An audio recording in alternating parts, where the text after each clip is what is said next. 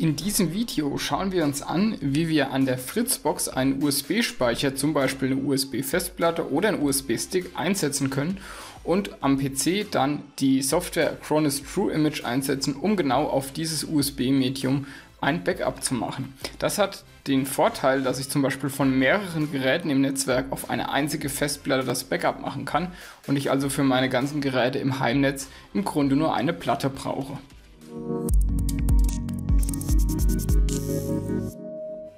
Damit das Ganze funktioniert, müssen wir aber erstmal am PC ein bisschen Vorarbeit leisten. Dazu habe ich jetzt mein Medium einmal reingesteckt. In meinem Fall ist es ein USB-Stick, könnte aber bei euch genauso eine USB-Platte sein. Das Vorgehen ist dasselbe. Wir sehen den USB-Stick jetzt hier unter dem Buchstaben E und der ist noch nicht formatiert. Die Fritzbox kommt aktuell, soweit ich weiß, nicht mit dem exFAT-Format zurecht, deshalb muss ich hier einmal auf Formatieren gehen und ich würde tatsächlich sagen, dass der NTFS bekommt. Wir probieren das mal aus. Ich nenne das mal Backup und klicke mal auf Start. Klar, jetzt wird alles gelöscht, was auf dem Stick ist und jetzt ist er nicht in der Lage zu formatieren. Ja, das ist schön, dass wir das gleich mal im Video kriegen, dann kann man auch gleich schauen, wie wir den Fehler beheben. Dazu muss man jetzt in die Datenträgerverwaltung und äh, heißt hier Systemsteuerung, heißt hier Control Panel im Englischen. So, ich bin etwas überfordert, weil ständig bei Windows 10 irgendwas da geändert wird. Ich glaube, Administration gibt es auch noch, genau. Die Windows Administrative Tools, da wollen wir hin, genau. Also das wäre der Pfad gewesen, System and Security. Hier oben sieht man es nochmal. Und hier die Administrative Tools, genau. Dann landen wir hier und da gibt es das äh, Computer Management, das wird auf jeden Fall gehen. Ich starte es schon mal. Es gibt aber auch nochmal einen einzelnen Punkt der Datenträgerverwaltung oder hier heißt es Disk Management. Ah, ich verstehe es immer nicht. Naja, egal. Auf jeden Fall, wir haben hier das Disk Management in der Computerverwaltung gefunden. Hier ist unser Stick, der ist unallocated, da ist also noch kein Volume drauf erzeugt.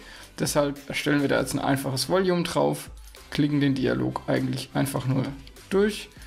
Und hier ist schon NTFS eingestellt. Das Ganze nenne ich jetzt einfach einmal Backup und sag Next und Finish. Und jetzt sollte der als jeder auch vernünftig stehen. Warum er jetzt vorhin Probleme hatte, das zu formatieren, ist wieder so ein Windows-Mysterium. Okay, er hat sich hier unter F angemeldet, soll uns auch nicht weiter stören. So, dann haben wir die erste Vorarbeit gemacht, nämlich unser Medium in den, ins richtige Format gebracht. Jetzt können wir auf der Fritzbox weitermachen. Wenn ihr euch dann angemeldet habt, gibt es bei Heimnetz den Punkt USB und Speicher. Hier sieht man, dass halt die Fritzbox intern nicht viel Speicher zur Verfügung hat.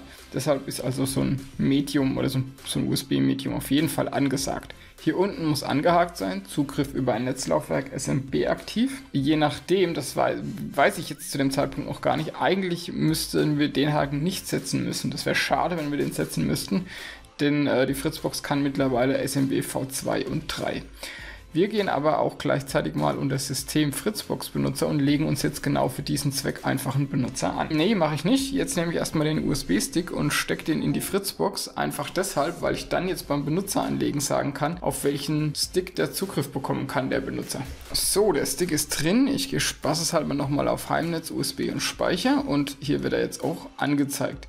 Gut, er wird gerade eingebunden, das kann scheinbar einen Moment dauern. So, hat er eingebunden, NTFS ist erkannt und auch die Größe ist korrekt erkannt. Okay, dann würde ich doch mal sagen, dass hier der Haken jetzt auch noch passt. Wir gehen jetzt also wieder zurück zu System Fritzbox Benutzer und legen jetzt einen neuen Benutzer an. Ich kann den jetzt zum Beispiel Acronis nennen und natürlich ein sehr sicheres Passwort. Den Zugang aus dem Internet muss ich dem nicht erlauben, sondern hier unten nur den Haken setzen bei Zugang zu NAS-Inhalten und hier klicke ich jetzt auf Verzeichnis hinzufügen. Und ich wähle hier gerne ein Verzeichnis aus. Hier ist jetzt zum Beispiel der Backup-Stick. Dann kann ich einfach sagen, auf das hast du jetzt Zugriff und klicke jetzt einmal auf Übernehmen. So, das war schon der ganze Zauber am Stick und an der Fritzbox. Jetzt kommen wir zum letzten Teil der Einrichtung mit Acronis True Image. Jetzt sind wir im Hauptmenü von Acronis True Image und hier unten klicke ich einmal auf Backup hinzufügen. Ich nenne das jetzt mal Fritzbox Backup und ich wähle jetzt bei der Quelle ähm, Dateien und Ordner, einfach dass es ein bisschen schneller geht, ist ein bisschen schöner zu zeigen jetzt in dem Video. Was ihr da auswählt, das überlasse ich euch natürlich. Gehe ich mal auf OK, sind jetzt nämlich nur 1,6 GB ausgewählt. Es muss ja immer alles übers Netzwerk laufen. Wir gehen hier auf die Acronis Cloud, da wollen wir ja nicht hin, sondern wir wollen hier auf die Fritzbox. Die hat er auch tatsächlich schon erkannt. Da klicke ich mal drauf und Benutzernamen und Passwort müsste jetzt der sein, den wir angelegt haben. Ich bin mal gespannt, ob es klappt. Ich klicke einmal auf Verbindung testen. Hm, es klappt anscheinend. Okay, gehen wir auf Verbinden Und hier ist halt ein Ordner, Fritz NAS und Backup. Backup ist halt der Stick, den wähle ich jetzt aus und gehe auf OK. Und da hat er mir auch den Speicher angezeigt. Ich weiß nicht, ob das jetzt ein Umrechnungsfehler war von was, glaube ich, ein bisschen weniger. Aber wir sagen jetzt einfach mal Backup jetzt. Im Taskmanager kann ich jetzt wunderschön beobachten, wie die Daten über die Netzwerkleitung geschleust werden und jetzt auf die Fritzbox kommen.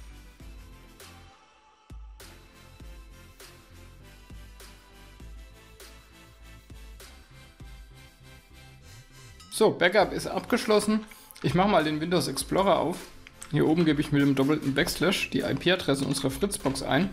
Gehe dann auch mit fritz.box bei euch. Und hier werde ich jetzt wieder nach Benutzernamen und Passwort gefragt. Nehme ich wieder den, den wir vorhin hatten. Und dann müsste ich auch wieder Zugriff auf den USB-Stick bekommen. Ja, passt. Und hier habe ich jetzt auch das Full Backup mit den 1,6 GB liegen. Ich könnte jetzt genauso den USB-Stick abziehen, in den PC stecken und dann das Recovery anfangen. Wenn euch das Video weitergeholfen hat, freue ich mich natürlich immer über ein Abo und über einen Daumen nach oben. Wenn ihr einen Daumen nach unten da lasst, freue ich mich natürlich auch über einen Kommentar, was euch an dem Video nicht gefallen hat.